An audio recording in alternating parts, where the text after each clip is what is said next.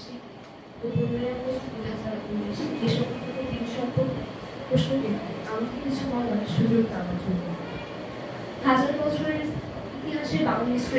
অর্জন বাংলাদেশের স্বাধীনতা আর স্বাধীনতা সংগ্রামের ইতিহাসের সঙ্গে যার নাম তিনি হলেন জাতির পিতা বঙ্গবন্ধু শেখ মুজিবুর রহমান তিনি আমাদের দেশকে স্বাধীন করার জন্য নিঃস্বার্থভাবে দৌড়ে গেছেন।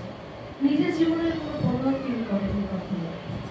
মুক্তিযুদ্ধের সর্বাধিনায়ক যখন দেশ স্বাধীন হওয়ার পর দেশ পুনর্গঠন করে এগিয়ে যাচ্ছে, তখন দেশীয় ষড়যন্ত্রকারী ও আন্তর্জাতিক চক্রের শিকারে তিনি পরিণত হন।